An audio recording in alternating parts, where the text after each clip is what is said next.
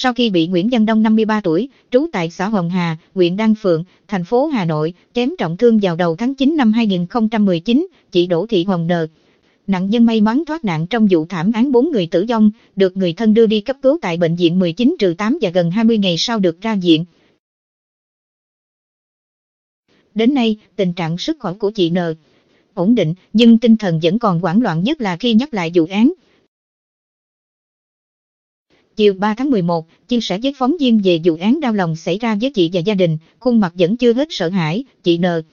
Thể, vào sáng 1 tháng 9, tranh thủ khi con gái đang ngủ, chị vào nhà tắm để giặt quần áo. Hiện trường vụ án Khi trong nhà tắm đi ra ngoài phơi quần áo, thấy Nguyễn Văn Đông đang cầm dao trên tay nên chị sợ hãi chạy vào trong nhà bế con. Chị chạy vào buồng khóa cửa lại, lấy điện thoại gọi cho bố đẻ. Khoảng một trừ hai phút sau, Đông vào mở cửa không được thì lấy dao đập cửa kính rồi thò tay vào bên trong mở chốt. Trong buồng nhà tôi có hai cửa, thấy Đông mở được cửa trong nhà, tôi mở cửa bên hiên ôm con chạy ra đến cổng thì bị ngã. Tôi nằm che con thì Đông chém nên bị nứt. Khoảnh khắc Đông gây án tôi sẽ không bao giờ quên được. Chị nợ, gạt ngang nước mắt kể. Chị nợ, nói hành vi của Đông hết sức côn đồ, giả mang và không thể chấp nhận được. Trước ngày Đông gây án, gặp ông ta ở đâu chị đều lễ phép chào hỏi nhưng chưa một lần nhận được câu trả lời. Hiện tại, tôi vẫn chưa hoàn toàn ổn định về tinh thần. Sự thật trong câu chuyện, gia đình tôi hoàn toàn không có mâu thuẫn gì với nhà ông Đông. Mọi việc chỉ là do ông Đông khen khét nhà tôi, có ý định sát hại người trong nhà khi gia đình mua được mảnh đất nằm sát nhà ông ta. Chị N. nói. Theo chị N.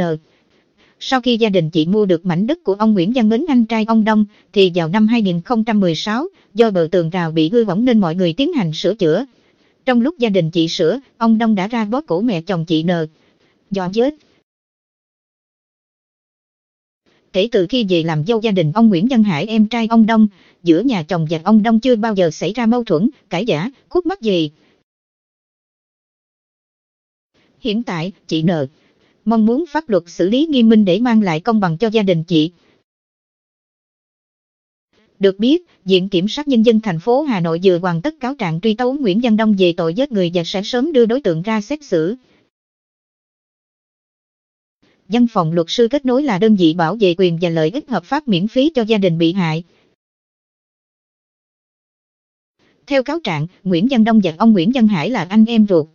Hai người được ba mẹ chia cho hai mảnh đất ở gần nhau.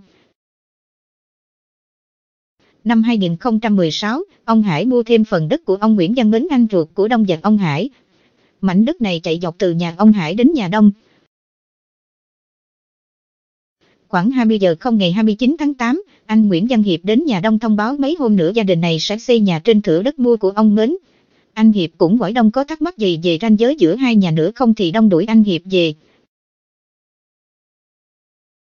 Sau đó, Đông bực tức và cho rằng mâu thuẫn giữa hai gia đình là do lỗi của anh Hiệp và bà Doãn Thị Diệt 1970, vợ ông Hải, vì hai người đã xúi bẫy ông Hải, khiến hai anh em đối tượng mâu thuẫn.